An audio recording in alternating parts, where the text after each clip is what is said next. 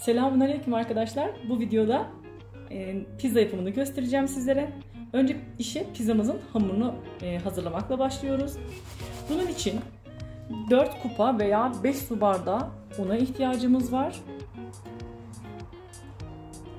1 tatlı kaşık kadar tuza ve yine bir tatlı kaşığı kadar toz şekere, bir paket mayaya ve bir adet de yumurtaya ihtiyacımız var. Ben hemen videoya başlarken size bir hatırlatma yapmak istiyorum.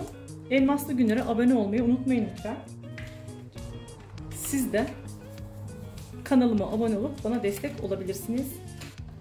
Şimdi bunun içine 100 gram kadar margarin koyuyorum ve e, suyla beraber alabildiği gibi güzel bir hamur elde edeceğim. Şimdi benim margarinim e, sıcak birazcık. Onun için de soğuk su ilave edip onun soğumasını sağlayacağım. Hem de bir taraftan e, suyum da ılımış oluyor. Şu kuruları güzelce karıştıralım. Yumurtayı da ortaya alayım.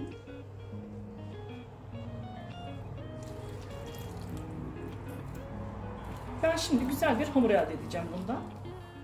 Hamurum mayalandıktan sonra diğer aşamalara geçiyorum. Ben hamurumu yoğurdum. Kulak memesi yumuşaklığında kıvamlı, özlü, güzel bir hamur elde ettim. Ee, arkadaşlar suyun bir ölçüsü yoktu. Ona e, göre suyun değiştiği için ben e, kendi el ayarımla güzel bir hamur yaptım. Şimdi bunu üzerini kapatacağım ve bu arada da malzemelerimi doğrayacağım. Malzemeleri doğrayınca tekrar bir araya geleceğiz. Ben bir yemek kaşığı kadar salçayı bir tutam kekikle bu bardağın içinde e, suyla karıştırdım. Böyle bir sos elde ettim. Bunu hamurun üzerine dökeceğim. Sonra malzemeler ve kaşar gelecek. Hemen şöyle hamurumu eğer 4 kupa yapsaydım arkadaşlar 4'e bölecektim. Ama şimdi 5 kupa olduğu için hamuru 5'e böleceğim.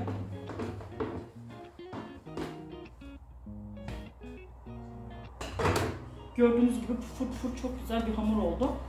Çok da fazla mayalanmasına gerek yok. Şöyle biraz gazını indirelim.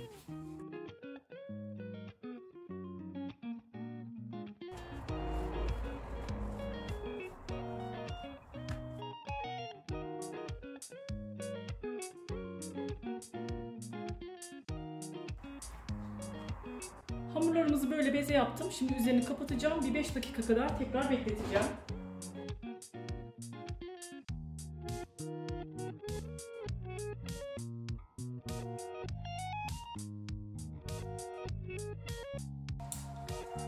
Fırın kağıdı yaydım tepsime. Hemen hamurumu tepsiye aktaracağım.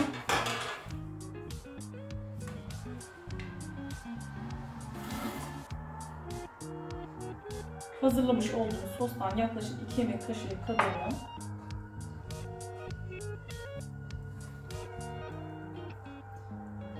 yayıyorum.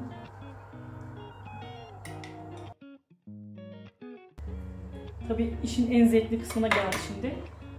Bu arada çocukları yanınıza çağırabilirsiniz bu aşamada. Eğer evde çocuk varsa.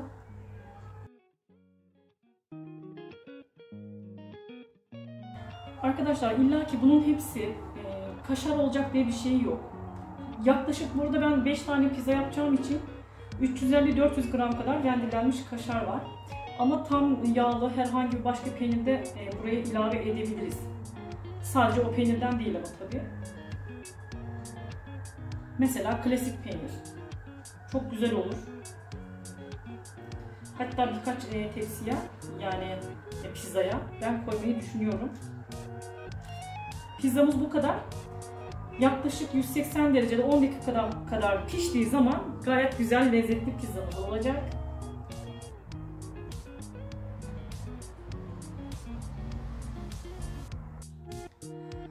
Pizzamız pişti arkadaşlar.